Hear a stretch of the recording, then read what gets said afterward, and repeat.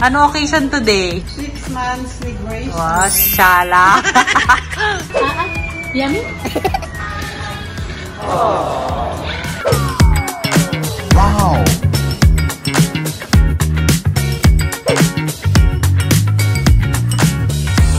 So hi guys, today is Krishan's sixth month and I'm so excited because he can start eating solids. So right now, since kakagising ko lang, I will feed him yung parang porridge for babies.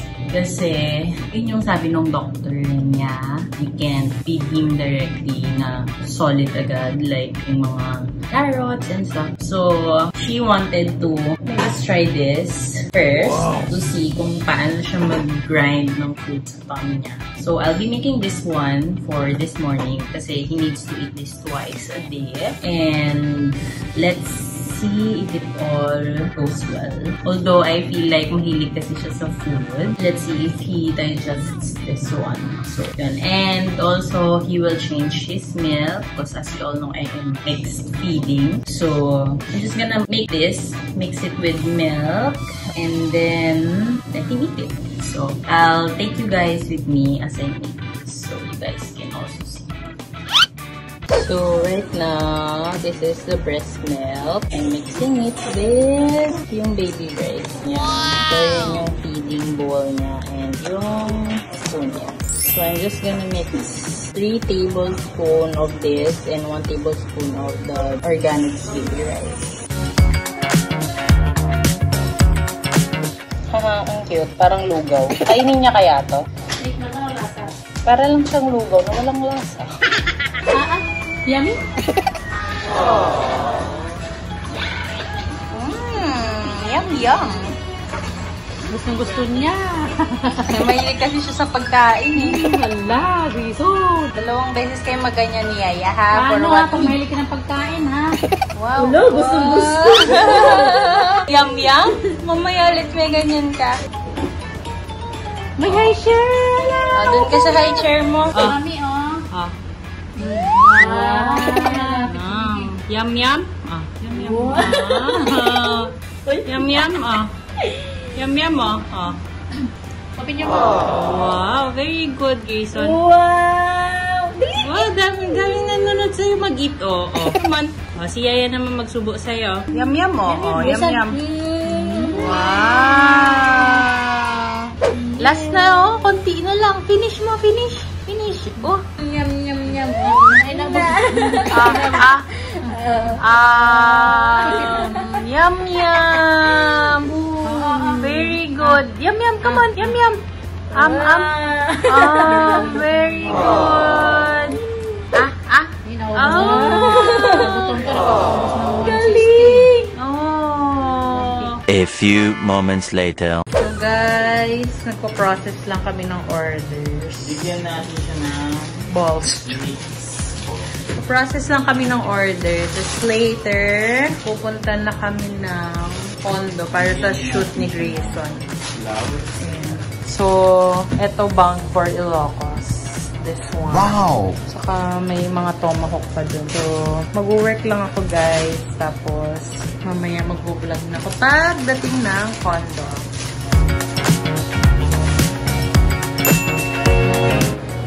Hello kayo sa mga nag-order. Mag-offer ka.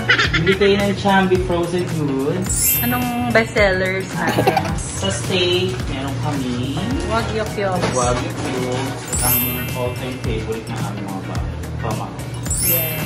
Perfect for handaan. Together with the Australian ribeye. Wow. ang aming mga shabu-shabu balls.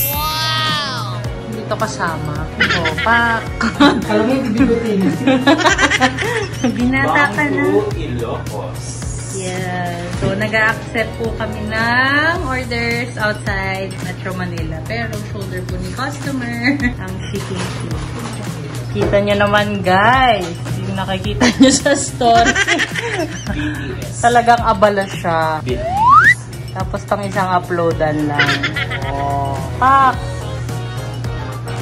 Huwag ka mahuhulog dyan. May utang ka pa. so, guys, hindi na ako natuloy sa condo. So si Aaron na lang pumunta doon para i-shoot si Grayson since nandun din naman si Carrot. So antayin ko na lang sila dito sa office since super dami ko pa talagang work and ako talaga mismo nagpa-process ng order for Chambi just to make sure na everything's okay. So right now, i-flip ko yung camera kasi may nagpadala din sa akin ng goods. Wait, wait, wait. So, nagpadala sila sa akin. And actually, nag-message muna sila sa akin. And then, I said yes. Because I like local products made here. So, yeah. So, Adoy's Homemade Local Fresh by Lutong Hinirang. Okay. So, ayan. May letter. Dear Miss Maricel. Ayan. So, mga sauces.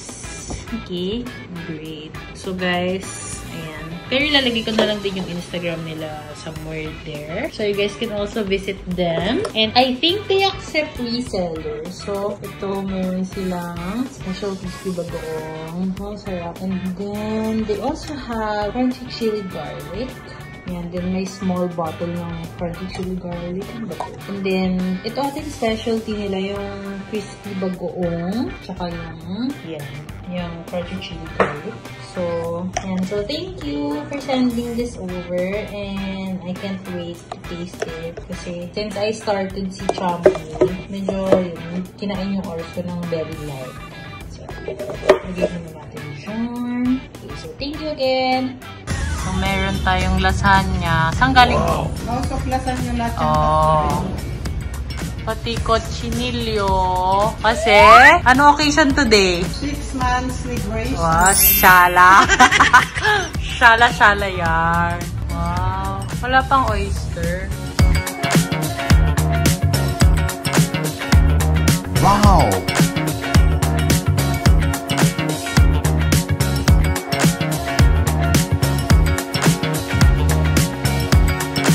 So guys, sorry hindi na ako nakapag-vlog kanina after dinner kasi medyo pagod din ako today and after kumain, nagchika-chika lang ng onte. Then, andito na kami ngayon sa bahay ng aking in-laws. So, yan. So, we're gonna spend the weekend here. So, yan. So, ganun lang kami nag-celebrate ng 6 month ni Grayson. And, update dun sa pinakain ko kanina na parang lugaw.